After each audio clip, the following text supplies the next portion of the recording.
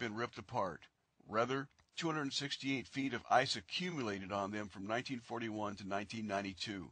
Although the results are complex, other research shows that much of Greenland's interior ice cap is growing and only its edges are melting. In balance, there is only a slight decline for the entire continent.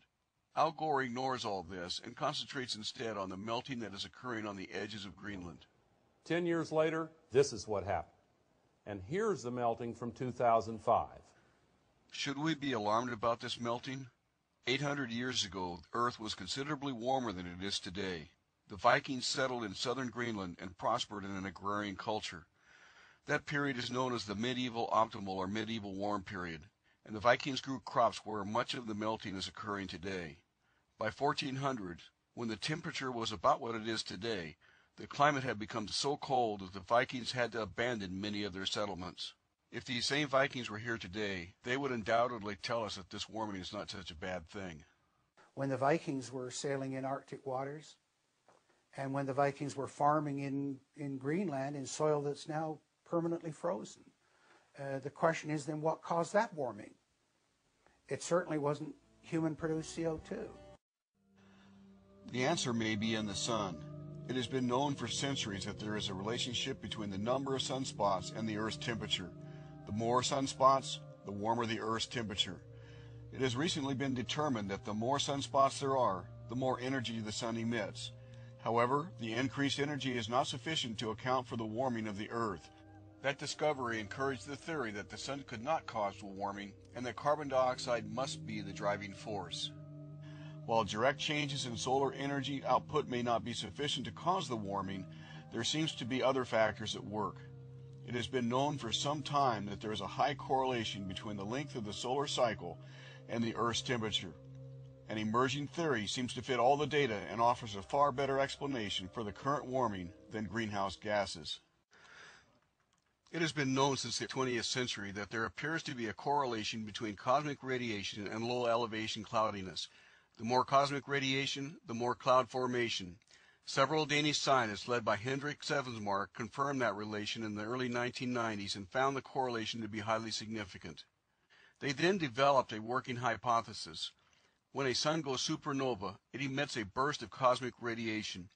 As that radiation reaches the Earth thousands of years later, it interacts with atmospheric atoms and frees electrons, which then act to bring water vapor molecules together, which finally condenses out into water droplets in the lower atmosphere, which creates clouds. Low elevation clouds are highly reflective and reflect the sun's energy back out into space. The more clouds, the more sun is reflected, and the less solar energy actually gets to the Earth to warm it and the Earth temperature drops. As long as the cosmic rays are bombarding the Earth in high amounts, there will be greater cloud formation, greater solar reflectance, and cooler global temperatures. However, as the sun becomes more active with solar flares and other activity, plasma made up of charged particles of mainly electrons and protons called solar winds stream out from the sun. While this has many effects on the Earth, it keeps more of the cosmic radiation from reaching the Earth and other planets, thereby reducing cloud formation. With fewer low-altitude clouds, more of the sun's energy reaches the Earth's surface where it causes heating and a warming Earth. The effect is huge. In just five years, it can cause a 2% decrease in clouds, which in turn equates to an increase in surface warming equivalent to about 85% of what is claimed for all carbon dioxide warming since the Industrial Revolution. In addition, Mars and other planets in the solar system also appear to be experiencing global warming, just like Earth. Although the theory is in hot debate within the scientific community, this evidence supports the solar-caused global warming theory and further weakens the carbon dioxide greenhouse gas theory. Elevated levels of carbon dioxide may not be as harmful as Al Gore and other man-caused global warming proponents would have us believe. In fact, there is strong evidence that elevated carbon dioxide may be very beneficial, something that we are never told. Mean, CO2 has been part of the planetary atmosphere since the first day this Earth evolved.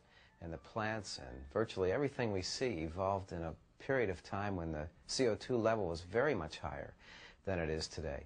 CO2 is something the plants love. They take up CO2, they use it, they give out oxygen. We take the oxygen and give out CO2.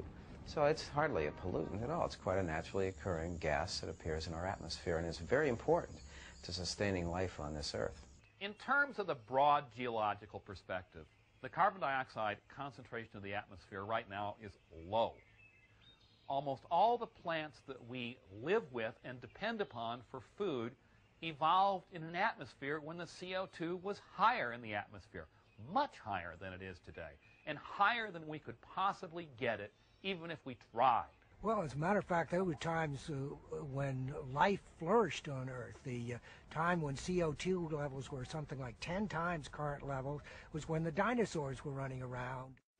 If carbon dioxide levels were 10 or more times what they are today, where did it all go?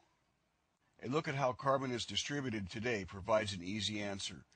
The atmosphere today holds less than 800 billion metric tons of carbon, soil and vegetation over 2,000, fossil fuels 4,000, and oceans nearly 40,000. However, the greatest sink for carbon is in sedimentary rocks like limestone, which has an estimated 80 trillion metric tons of carbon that has been taken out of the atmosphere. That is 100 times the amount that is currently in the atmosphere.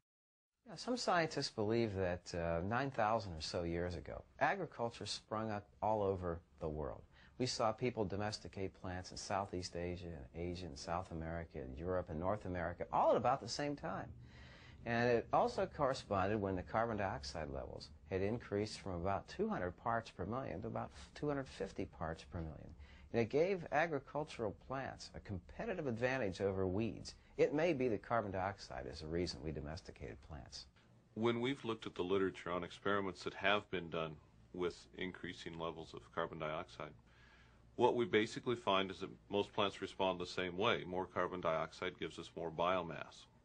So if we look at a forest, a rangeland, a marsh, a wetland, or an agricultural field, what's really happening with more CO2 is that you have more plant material produced. Increased CO2 worldwide, with few exceptions, means plants grow better, period. We grow vegetables at two till four times the outside carbon dioxide level. That means between 700 and 1400 parts per million. We are growing all the vegetables that commercial growers are growing, but the main products are cucumber, tomato, pepper, eggplants, squash, lettuce, and radish. The results of growing at elevated CO2 levels are a more rapid growth, earlier maturity, larger fruit size, greater weight, and a greater total yield of about 25%. Increased yield is experienced in all food crops when carbon dioxide is increased.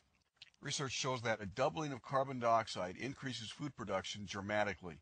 For instance, a doubling of carbon dioxide will increase cereal crops by 20 to nearly 50%, legumes like peas and beans by 44%, roots and tubers by 40%, and vegetables by 33%. As if that's not enough, carbon dioxide also helps these crops overcome harsh growing conditions such as drought and pollution. The amount of water that's used by plants to produce the same amount of growth actually decreases with increased CO2. So a higher water use efficiency means we're using CO2 more efficiently in terms of the water requirements for the crop. This will change some of the ecosystems. It may allow some plants to grow in areas that now would be considered marginal for the growth of those plants. So we'd have more biomass production, plants in a little bit different area, and we may actually be able to farm some of the areas that would now be considered desert.